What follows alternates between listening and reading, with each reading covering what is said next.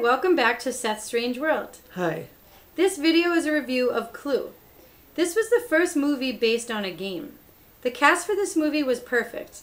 Eileen Brennan as Mrs. Peacock, Tim Curry as Wadsworth the butler, Madeline Kahn as Mrs. White, Christopher Lloyd as Professor Plum, Michael McKean as Mr. Green, Martin Mull as Colonel Mustard, Lesley Ann Warren as Miss Scarlet, Colleen Camp as Yvette the maid, and Lee Ving as Mr. Body. The movie really was the game come to life. Even the movie tagline was, It's not just a game anymore. The house was designed just like the game. The movie worked in all the weapons the candlestick, knife, lead pipe, revolver, rope, and wrench. It was John Landis's idea for the movie to have three endings. I think that John Landis figured people would want to see the movie three times to see each ending, and sadly that didn't happen. This movie wasn't a hit in theaters. Everybody saw it on videotape or TV, and it slowly became a hit with movie fans. It just took a long time.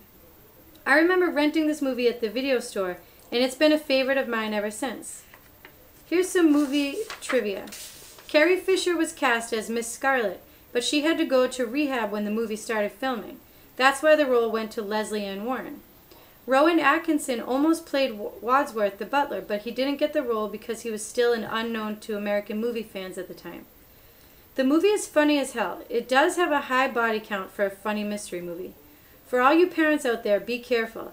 I showed this movie to my nine year old goddaughter because I had gotten her the game for Christmas. And the game had become one of her favorite gifts that year. And I figured she would love the movie, but after showing her the movie, I later found out the movie scared her because of all the dead people, and I felt awful about that. And it still scares her. So thanks, Uncle Seth.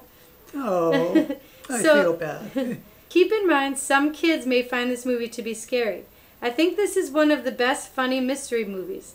This is one of Tim Curry's best movies, best roles. He owns this movie. Tim Curry will make you laugh your butt off. Everybody gets a chance to be really funny, but this is Tim Curry's movie. I say check out this movie. Thank you for watching this video and please like and subscribe to Seth's Strange World. Thank you.